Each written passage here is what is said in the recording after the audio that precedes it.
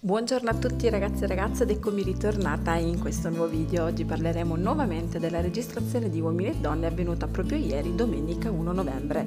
E dopo aver scoperto che la nostra Tina Cipollari è in quarantena forzata per essere stata a fianco a una persona positiva dove ho appena pubblicato un video, quindi ve lo metterò qui alla fine ehm, di questo video, parliamo di un grande ritorno. Ebbene perché è arrivato in studio Riccardo Guarnieri, pronto per trovare un nuovo amore.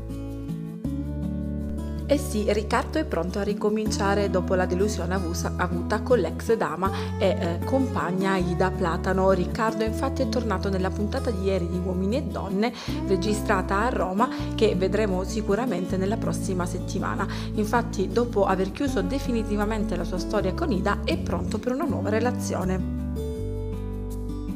Se Riccardo ha scelto di riapparire davanti alle telecamere, Ida invece è rimasta proprio lontana. Tornerà presto anche lei per riavvicinarsi nuovamente come l'anno scorso a Riccardo, chi lo sa.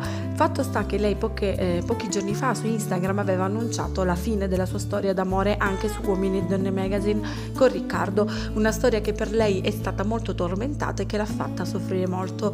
Adesso si... Ehm, dice molto serena e eh, tranquilla con se stessa.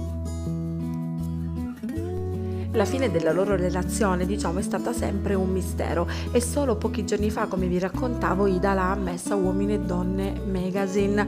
Infatti ha detto che l'addio con Riccardo è arrivato a causa di numerosi litigi e alcune incomprensioni caratteriali.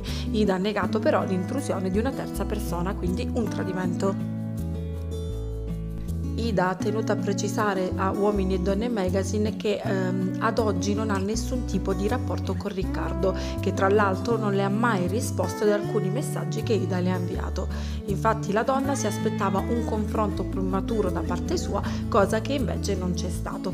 E magari chi lo sa ragazzi ritornerà a Uomini e Donne proprio per averlo? Io ci scommetto e credo proprio di sì. Voi invece che cosa ne pensate? Scrivetemelo nei commenti, lasciatemi un pollice su di supporto se il video vi è piaciuto e vi aspetto per tanti altri prossimi video.